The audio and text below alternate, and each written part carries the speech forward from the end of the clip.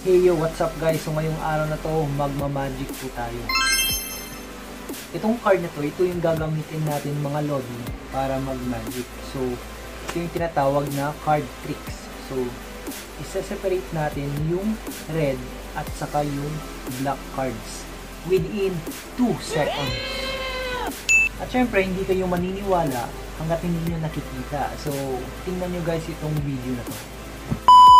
Guys, meron po tayong ditong cards. So, papakita ko sa inyo, meron po tayong red card at saka black cards. So, yung gagawin natin is shuffle natin tong card na to para mamaya mahirapan ako sa pag-separate ng red at saka yung black. Ayan. So, wait lang ah. Papakita ko sa inyo muna. Ayan na guys. So, magkakaiba na yung posisyon. So, red, black, red, black, red, black. Yung ganyan. So, para mas mahirap pa, isa-shuffle pa natin ulit. Ayan.